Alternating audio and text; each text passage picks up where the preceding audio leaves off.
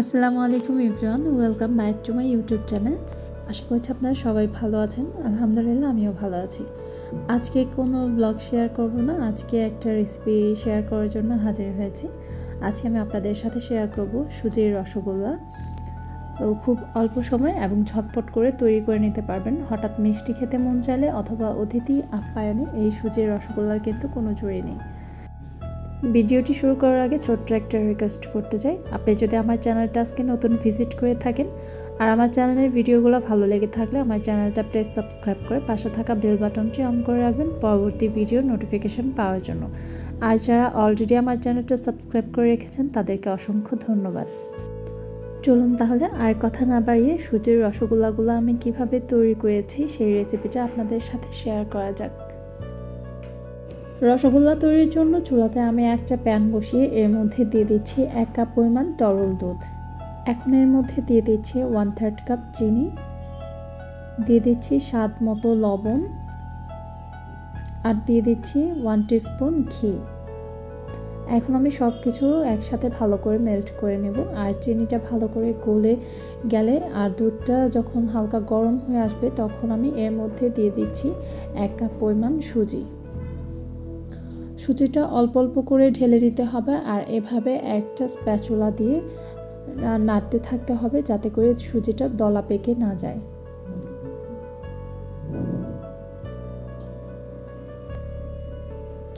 এখন দুধটা শুকিয়ে গেলে দেখবেন খুব সুন্দর একটা ডো তৈরি হয়ে গেছে।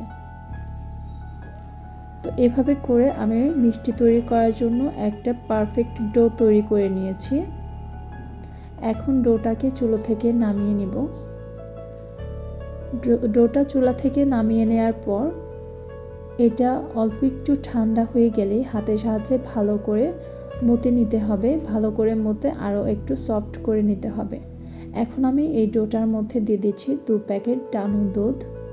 দিয়ে আমি ভালো করে হাতের সাহায্যে মতে একটা সফট ডো তৈরি করে নেব। আমার ডোটা তৈরি হয়ে গেলে এখান থেকে আমি পরিমাণ মতো নিয়ে টো নিয়ে তারপর রসগোল্লার শেপ দিয়ে দেব।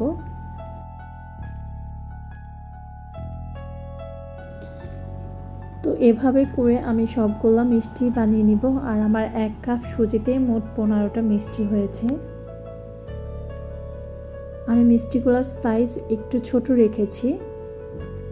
তো এক কাপ সুজি দিয়ে কিন্তু এক কেজি রসগোল্লা আপনারা অনায়াসে বানিয়ে নিতে পারবেন। তো এখন মিষ্টির জন্য শিরা তৈরি করে নেব। এখানে আমি চুলাতে একটা প্যান বসিয়ে এর মধ্যে এক কাপ চিনি দিয়ে দিচ্ছি। আর দিয়ে দিলাম দু কাপ পরিমাণ পানি। আর দিয়ে দিচ্ছি দুটো এলাচ। এলাচটা আমি মাঝখান দিয়ে ফাটিয়ে নিয়েছি। এখন ঢাকনা দিয়ে ঢেকে দিচ্ছি। ঢাকনা দিয়ে ঢেকে বলক আসা পর্যন্ত অপেক্ষা করব। দেখুন, বুদবুদ ওঠা শুরু হয়ে গেছে। এর পর্যায়ে মিষ্টিগুলা এই শিরার মধ্যে দিয়ে দিতে হবে। আমি একে একে সবগুলা মিষ্টি এই শিরার মধ্যে দিয়ে দিচ্ছি।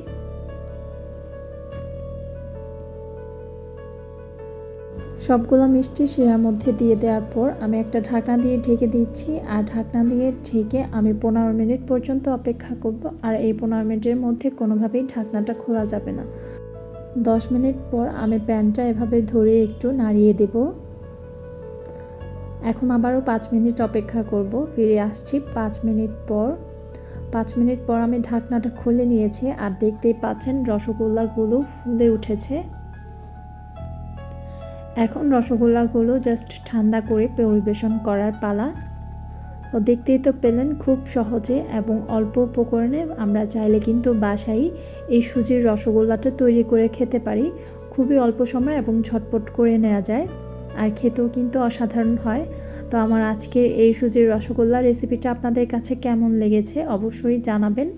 ভালো লাগলে লাইক করবেন কমেন্ট বক্সে কমেন্ট করে জানাবেন আর আমার সালাসপাল চ্যানেলটি সাবস্ক্রাইব করে পাশে থাকা বেল বাটনটি ক্লিক করে রাখবেন। পরবর্তী ভিডিও নোটিফিকেশান পাওয়ার জন্য। সবার সুস্থতা কামনা করে আজকের ভিডিওটা এখানেই শেষ করছি। সবাই ভালো থাকবেন, সুস্থ থাকবেন। ইনশাল্লাহ পরবর্তীতে নতুন কোনো ভিডিওর সাথে দেখা হবে। আল্লাহ হাফিজ।